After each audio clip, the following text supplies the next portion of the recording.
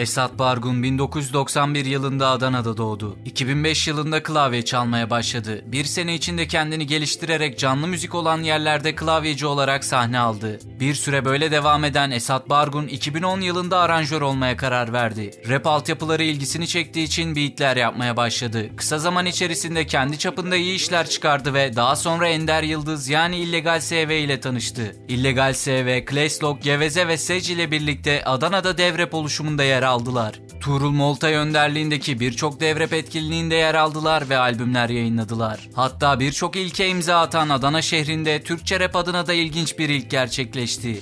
Rap partilerin genellikle düğün salonu ve kafelerde yapıldığı 2010'lu yılların başında ilk kez bir rapçi bir kafeyi disledi. İllegal SV'nin Ora Kafe'ye yaptığı bu disin prodüktör koltuğunda ise yine Esat Bargun oturuyordu.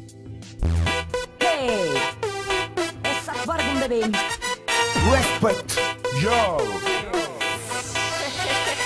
Canımı sıktı yaparım diz. Attırdılar more kafamı pis. Acımsı bir mekan kaka o biz. Ora kafesi sistemi kaka o pis. Yani bırakın şu işi yapın Bici bici ben mi öğreteyim size? İşinizi Mecburen oradayız içsiniz hiç. Emeksiz kazan para işiniz iş. Kaliteye değil cebine bakın piç. Hak etmez lüks içinde yaşar biç. Benimki gergin delice amaççı. Orayı siksin her gün yeni bir apache Kendi yer aldığı oluşum dışında ise Server Uraz, Beta, Flowart, Ados, Fatefat gibi isimlerle birlikte çalışmalar yaptı. Özellikle Flowart ve Joker disleşmelerinde adını sıkça duyduk.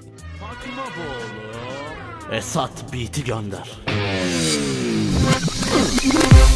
Yeah.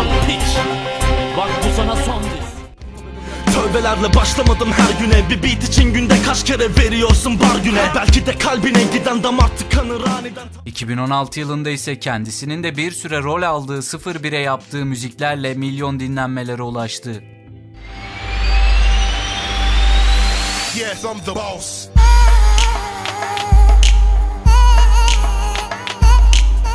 Devamında da yine Sokağın Çocukları dizisinin müziklerini yapmaya devam etti ve dizide oyuncu olarak da yer aldı. Son olarak ise Hiç ve Kıyma isimli dizilerin müziklerini yaptı. Esat Bargun'u rap söylerken tek görebildiğimiz şarkı ise yine 2010'lu yıllara dayanıyor. Eski ekibiyle birlikte yaptığı şarkı Baştan Deneden sonra da Esat Bargun'u bir daha Adana'da şarkı söylerken bile gören olmamış yaratır karambola. Fame için bok atar İsrail'de mermi kadar El satlama tavan Ben geldim koltuğumdan kalkman gerek. Kötü giysen de bana paspal deme On parça oldu rap pastan gene. Sarmadıysa parça arka baştan dene. Dene dene baştan dene. Dene dene baştan dene. Dene dene baştan dene. Sarmadıysa parça arka baştan dene.